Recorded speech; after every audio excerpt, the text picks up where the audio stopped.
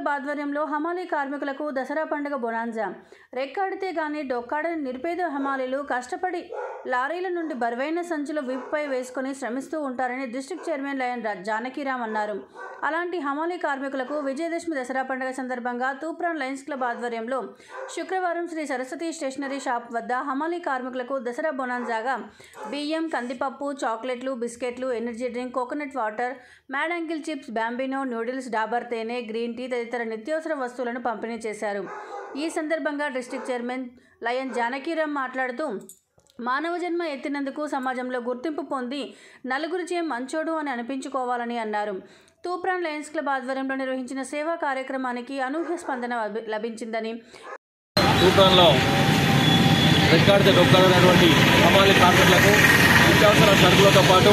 Mango juice అలాగే హానీ bottle అలాగే coconut వాటర్తో పాటు ఈ నిత్యావసర సరుకులతో పాటు చాక్లెట్లు అలాగే బిస్కెట్స్ జాంబినో అలాగే వారికి కావాల్సినటువంటి చిన్నపిల్లలకు కావాల్సినటువంటి ఆహార దినసరుకులు ఉన్నాయి కాబట్టి వారందరూ కూడా ఈ రోజు నాడు దసరా సందర్భంగా వారికి పంపిణీ చేయడం జరుగుతుంది కాబట్టి ఈ పంపిణీ కార్యక్రమానికి చెప్పాడు స్వచ్ఛంద సంస్థ అధినేత రొయ్యూరు సురేష్ గారి యొక్క సౌజన్యంతో ఈ రోజు నాడు కూపన్ లైన్స్ క్లబ్ ఆధ్వర్యంలో ఈ కార్యక్రమం నిర్వహించడం జరుగుతుంది కాబట్టి ఈ కార్యక్రమానికి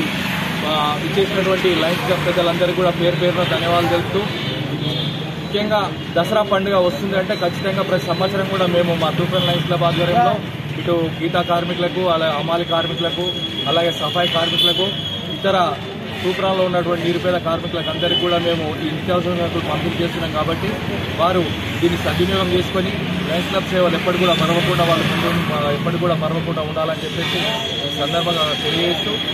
నిజంగా వారి యొక్క అదృష్టము పూర్వజన్మ సుకృతం కావచ్చు కార్మికులు పొద్దుటి నుంచి సాయంత్రం వరకు కూడా రాత్రి వరకు సాయంత్రం కాదు రాత్రి వరకు కూడా ఇరవై నాలుగు గంటలు వాళ్ళు కృషి చేస్తూ సేవలు అందిస్తున్నారు. వారి యొక్క సేవలను ఈ సందర్భంగా అభినందిస్తూ కమాలి కార్మిక నాయకులు శ్రీనివాస్ అలాగే నారాయణ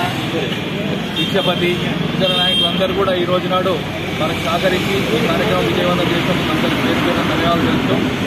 మనము ఉదయం లేవగానే సాయంత్రం వరకు దైనందిన జీవితంలో ప్రతి ఒక్కరం కూడా వారు చేసిన వారు సాయంత్రం వరకు వంద రూపాయలు సంపాదించాల నుంచి ఐదు రూపాయలు పది రూపాయలు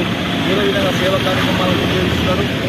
సేవ అనేది ఇప్పుడు ఉన్నత వర్గాలలో రాదు. ఇలాంటి నిరుపేదల నుంచే మనకి సేవ వస్తుంది కాబట్టి అందరు కూడా సేవ చేసే భాగ్యం వాళ్ళు కూడా తీసుకుంటున్నారు. ప్రధానంగా ఈ కార్యక్రమానికి ఇంత దిశా దశ సూచించినటువంటి చెప్పాటు స్వచ్ఛంద సంస్థ అధినేత రొయ్యూరు సురేష్ గారికి వారికి ప్రత్యేకంగా అభినందనలు తెలుపుతూ ఈ రోజు నాడు ఈ కార్యక్రమం నిర్వహించిన కార్యక్రమానికి హాజరైన లైన్స్ పెద్దలకు అమాలి కార్మికులకు నాయకులకు అందరికీ కూడా పేరు పేరున ధన్యవాదాలు తెలుపుతూ